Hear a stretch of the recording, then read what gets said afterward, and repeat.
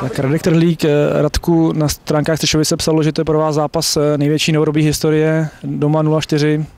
Nezvládli se to, proč myslíš, že to tak bylo? No, eh, řekl bych, že to může mít pár důvodů. My to budeme hodnotit, až si prohlídnu video a trochu s chladnější hlavou. Jo. Ale teďka, co můžu říct hned od začátku, tak pravděpodobně rozhodla zkušenost Radotína. Větší důraz významnou úlohu hrál eh, první gol z penalty, protože potom eh, mohl Radotín trochu upravit hru a, a eh, už hrál trošku zabezpečenější obrany a chodil do naší otevřené obrany a pak nás za to vytrestal ve druhé půli. Taktiku hry způsob hry náš byl neefektivní ve druhé půli, eh, protože oni pracovali v té obraně dobře a, a dávali nám ty údery do naší otevření obrany. Čili myslím si, v první půli to bylo celkem naší straně dobrý. Měli jsme dvě tutovky, břevno, dobrou šanci. Penalta rozhodla, protože umožnila Radotínu potom hrát jiným způsobem hry zabezpečenou obranu.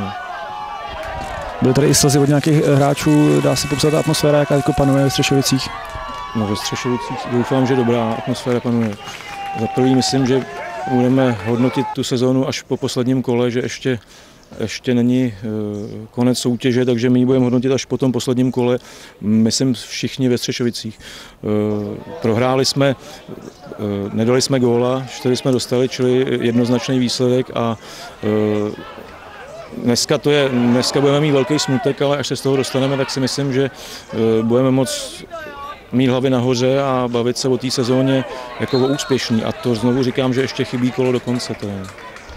Kolo do konce, říkáš to sám, eh, hrajete v Chlubicích, eh, Hradotí má doma Kereč, jak vidíš ty vaše šance na postup, případně ještě?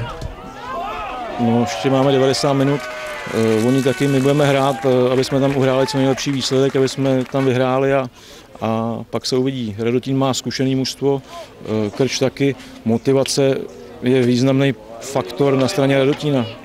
Uvidíme, 90 minut pro nás je důležité, aby jsme tam vyhráli. No. Tak Tomáš Bláha z Radotína, Tomáši, zápas na Střešovicích 4-0, pro vás jednoznačný výsledek, jak jsi to viděl? Tak jednoznačně jo, určitě, ale my jsme chtěli hrát tak, aby jsme jakoby drželi zádu nulu a čekali jsme, co vymysleli oni. No. Zaplať pamu nic nevymysleli a my jsme svoji pílí a, a vůli jsme to tam dotáhli a myslím, že zaslouženě jsme vyhráli. Byli jste před zápasem nějakým způsobem nervózní, museli jste vyhrát, abyste si vlastně uhráli do posledního kola tu šanci mít to ve vlastních rukách? Tak my jsme věděli, o co hrajeme, Nervozita možná trošku byla, což je vždycky pozitivní pro ten fotbal, ale nejvíc nervózní byl z našich, jakoby od nás byl trenér, takže, takže my jsme jakoby na hřišti se to odbakali a, a podali jsme jako výkon, jaký jsme podali. Ještě teda není hotovo, poslední kolo vás čeká, jak vidíš eh, ty šance, teda vaše před posledním kolem? Tak čeká nás, jestli se nepletu, třetí ještě manča v tabulce a není nic rozhodnutého. Teď jsme udělali důležitý krok, ale poslední kolo je ještě furt o tři body a my jsme na tři švicema o dva a tam se ještě může cokoliv stát, ale budeme samozřejmě chtít vyhrát a potvrdit náš postup.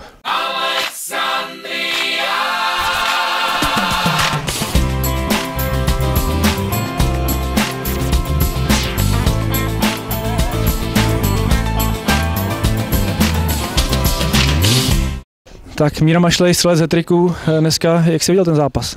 No, určitě ten výsledek vypadá sice, že to byl jednoznačný zápas, ale nerodilo se to jednoduše, protože Střešovice měli dobrou sérii prakticky celý jaro.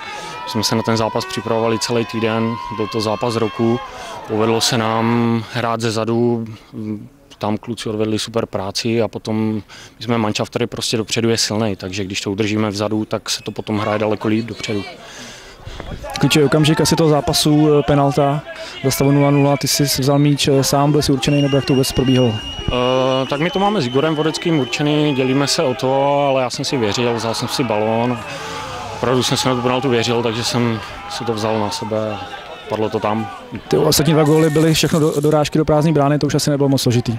No, ono se to nezdá, ale když to letí přes celý vápno, tak ono je to občas těžký trefit.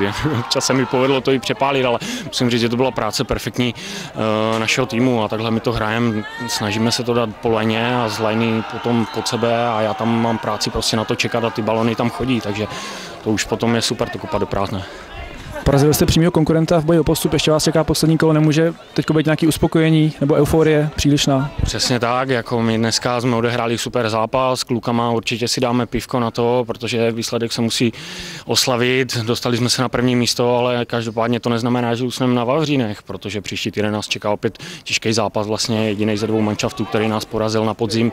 Máme jim co vracet, hrajeme ho hodně, takže si myslím, že do toho, jestli k tomu přistoupíme tak jak teď, tak to dobře dopadne. Tak Martin Šilhavý, spousta výborných zákroků dneska přes 104 góly v jeho síti. Jak jsi to viděl ten zápas? No, tak samozřejmě eh, první gol penalta, tam to bylo těžké, my jsme udělali velkou chybu, nechali jsme hráče nabíhat, nabíhat ze strany, ten byl sám, já jsem vyběhl, srazil jsem to a, a pak, pak byla nějaká skrumáž, hráč upad, rozhodčí z penaltu, nevím, tvrdí, že byla, asi jo, nemůžu, nemůžu proti tomu říct nic. Eh, určitě nebyla ode mě, já jsem dostal kartu, ale, ale asi byla, nebyl, rozhodně bych nedával za vinu rozhodčímu ten, ten zákrok.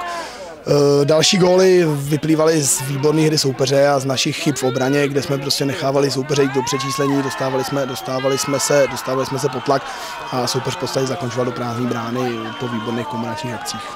Slyšovice se na ten zápas chystali, byl to pro ně zápas v podstatě, dá se říct, desetiletí. Eh, Teď to pro vás asi těžká a velká rána.